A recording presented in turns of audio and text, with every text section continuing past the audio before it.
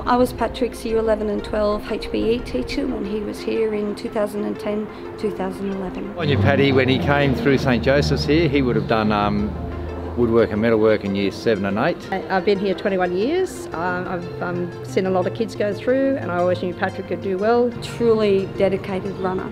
Always won the events at the um, athletics carnivals and cross countries. And we always watch on Facebook to see what he's doing in America, and it's just inspiring. Just so happy for him because um, he's followed his dream. He's done very well. As you saw, we still have your cardboard cutout from 2017, and the whole college is absolutely behind you, as I am. Go, Pat! Go, Patrick, you're the best. Go, Paddy! Go,